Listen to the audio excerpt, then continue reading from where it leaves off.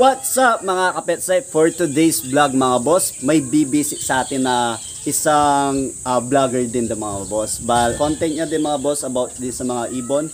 Ah, bibisit siya dito dahil ano mga boss, mag-aabil siya ng pangmalakasang mineral block natin mga boss. 'Yon. Ah, siya rin pala yung mga tumutulong dun sa pag-edit sa mga video natin mga boss. Kumukuha ako ng tips sa kanya kung paano mag-edit 'yon. Salamat sa iyo, boss. Ah, on the way na daw siya mga boss. Bale, wait na lang, wait na lang natin siya. If di ka pa nakasubscribe sa YouTube channel natin mga boss, don't forget to subscribe. Click the notification bell para updated ka sa mga video natin mga boss. Eh mga boss, kuha muna tayo ng order ni boss ah Kyle Loza mga, boss- mga boss nung ah, mineral block mga boss. Yan. Yung dilib sa kwarto mga boss. Sensya na.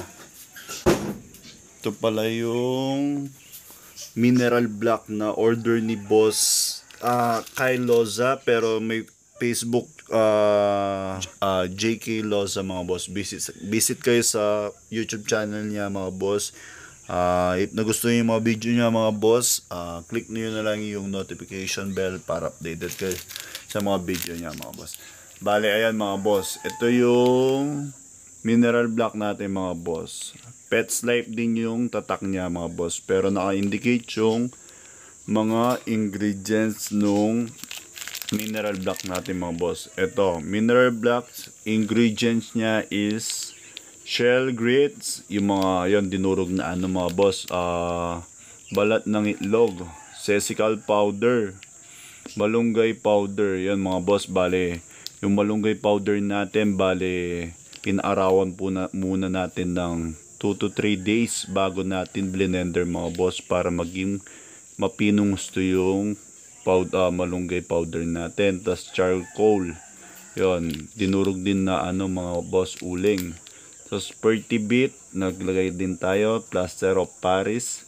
Tapos cattle bone mga boss. Yung cattle bone, bale meron tayong supply na cattle bone din mga boss. Bale, ah dinurog din yung part na malambot mga boss para ilagay natin din sa mineral block natin mga boss yon napaka dami niyang calcium mga boss. Tas egg booster. Lagay tas electrogen. Yung mga boss napaka high in calcium nung mineral block natin mga boss dahil meron siyang ah, balat ng itlog tas meron pa siyang ano mga boss ah tawag dito yung cattle bone mga boss yon if gusto nyo mag-avail mga boss PM nyo lang ako sa gusto mag-avail ng mineral block mga boss. Bale yon pumunta si boss ah Kyle Loza dito para mag-avail ng mineral block mga boss dahil pa, kailangan ng mga proven niyang kakatail mga boss dahil magbe-breed na sila ulit mga boss. Yun lang mga boss. Bale yan. Prepare ko na yung order ni boss Kyle bali 30 pieces din yun mga boss yan Tananan, tanan, tanan. Hirap ng ano? Hirap ng walang taga, taga picture ng mga boss. Or taga hawak ng camera. Hirap ta kapag nagsasarili talaga. Hmm, Hirap.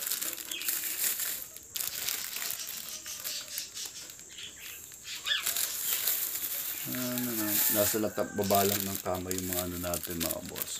Mga mineral block natin.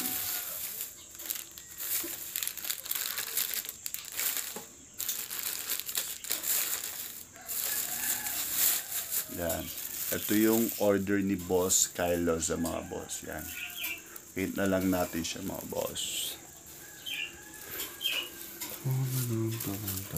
So yun mga boss, papunta na daw si boss kay Loza. Bale yun, nag-build siya nga ng ano, mineral block mga boss. Wait na lang natin siya mga boss at vlogger din si boss. Hingi tayo ng tips sa kanya kung paano mag-hand feed ng isang kalapate. Actually, ano, idol ko yung mga kalapate niya mga boss. Kasi pangmalakasan din yung mga kalapate ni boss. Yun, mag magtatanong tayo sa kanya kung ano yung tip or anong paraan para mapaamo ang isang kalapate. Yun, mga boss, wait na lang natin si Boss Kyle Loza. So yun mga boss, kasama na natin ngayon si Boss Kyle Loza mga boss. Ah, isang mag-iibon din siya mga boss. Bale, yun, may YouTube channel din siya mga boss. Kyle Loza mga boss. JK Loza mga boss. Yun. Subscribe kayo sa YouTube channel niya mga boss. Ah, yun. Hingi tayo ng tips sa kanya mga boss kung paano mag-hunted ng isang kalapate mga boss. Yan. Tip lang mga boss. Yan. Um, nyo ng time yung kalapate, tsaka focus nyo sila. Huwag nyo pabayaan, sa, lalo na sa pagkain, huwag nyo pabayaan. Kaya, pag meron kayong extra time sa isang araw, ba, banding nyo lang sa banding Hmm. para sumunod sa mga command.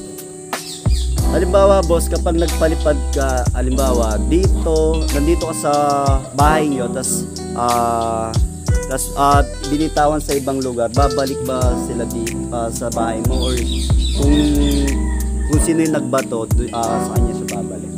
Kung ano, kung talagang kilala ka ng kalapate, sa'yo babalik, sa tao talaga babalik yan. Mm. Kung talagang sobrang banding mo sa kanila, Na-training mo siya ng gusto na, boss. sa, sa babalik babalik sa iyo yan. Pero mas better kung marunong din sa bahay para kung uh, kung ma-overfly man ng pag flight yung advantage mga boss kapag marunong kapag naka, na, naka, na-train ng gusto sa may-ari tapos ah, marunong pang umuwi sa bahay yun. Walang walang tendency na mawala yung ibon natin kapag gano'n mga boss yun.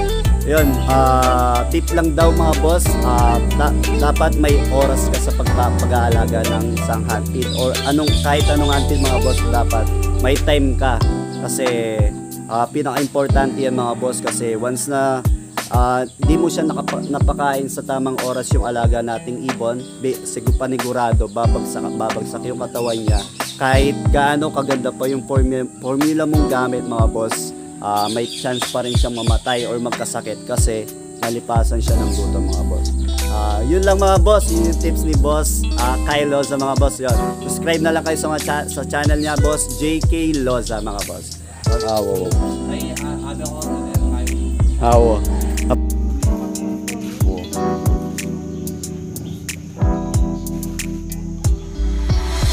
Ayun si boss, ah uh, Kylo sa mga boss, ah bali yon Naghan may handpage siyang isang ano mga boss, handpage niya mga kalapati mga boss.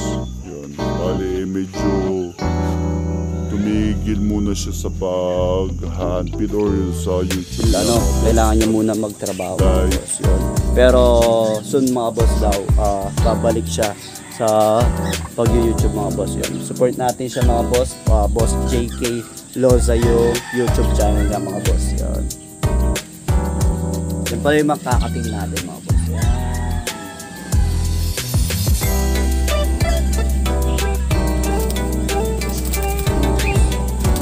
Ano, kailangan niya muna magtrabaho mga boss yun. Pero soon mga boss daw, ah, babalik siya sa pag-YouTube mga boss yun. Support natin siya mga boss, ah, boss JK Loza yung YouTube channel niya mga boss yun. Yan pala yung makakating natin